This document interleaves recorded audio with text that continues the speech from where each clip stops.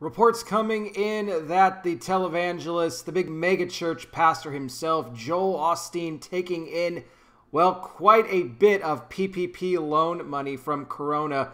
We're going to get into the details of that, and then I'm going to give my thoughts on what I think about this whole situation. Before I go any further, guys, I got to give a special shout out here to Maria, who recently became a $5 patron helping to support the channel. Thank you so much, Maria. That is a great blessing. And also Marsha, who recently upped her pledge on Patreon to $25 a month. Thank you so much, Marsha, for that. You are awesome. It was so good to uh, chat with you the other day in the comment section on a previous video. And guys, if you enjoy what I do here, you would like to help support, I recommend you do so as well over on Patreon, as little as $5 a month patreon.com slash conservative truth. That link in the description right now gets you access to all the bonus content, but soon it might get you all the content with YouTube cracking down on me, giving me all kinds of warnings. Who knows how much longer I'm going to be on the platform. I could be gone at any point. If you want to avoid that, make sure you keep getting my content and also help support, then I recommend you sign up over there on Patreon. Also, please like this video, share it, hit the bell, subscribe, and I wear the glasses because I'm blind.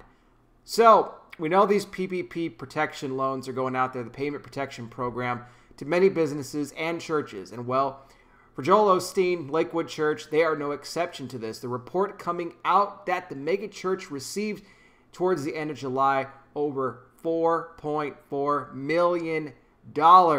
That's right, in the PPP loans. Now, funny enough about this loan is that initially uh, Joel did not apply Eh, for at least for the first couple of months because he said he didn't know how long the shutdown was going to be happening. So he didn't bother to do it. But then finally he did, and yet they still somehow ended up eligible to go ahead and receive that payment. Now, Joel saying this, Mr. Osteen saying that uh, his services were shut down from March 15th to October the 18th. And well, you see, during that time, his church lost the opportunity to take in, you know, very generous donations from all of the members there at Lakewood. He said this hurt them significantly. But let me just say this, Joel. Did you fight to keep your church open?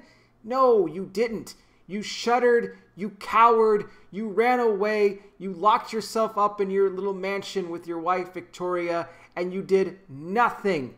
While other pastors around the country were fighting to keep the church open, you had no issue with it being closed and just doing your little virtual services and being completely fine with that. But if you look at other pastors like a John MacArthur out in California, who lawsuit after lawsuit, this guy has been fighting uh, and still, you know, is dealing with stuff over there right now. He was keeping his church open because he knew that it was important for people to be able to come to the house of God and worship to hear the word of God you didn't apparently think so. Now, not just people like John MacArthur, but other smaller churches as well that don't have as much money, okay? That did want to keep their churches open for their people. For those who were looking, you know, the lost who were looking to find Christ, didn't want to just watch on a virtual service. Maybe they don't have the means to do that.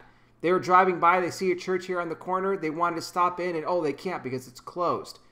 But no, Joel didn't do that. He didn't do that. No, he just did his virtual services. He knows he's going to make his money, so what did he really care?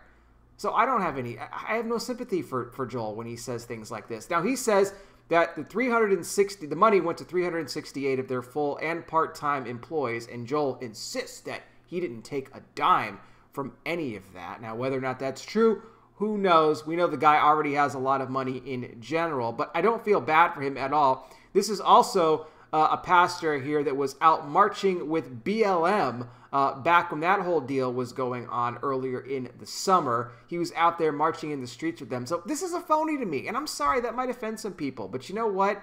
This isn't a true pastor to me. And the fact that uh, you know, they got this 4.4 you know million dollar PPP loan is ridiculous in my opinion. But what do you guys think? You let me know down below in the comment section. I'll have more information on this in the description. Thank you so much for watching. I really do appreciate it. I'll be back with more. You guys take care. Please be safe out there. God bless each and every single one of you, and I'll talk with you soon.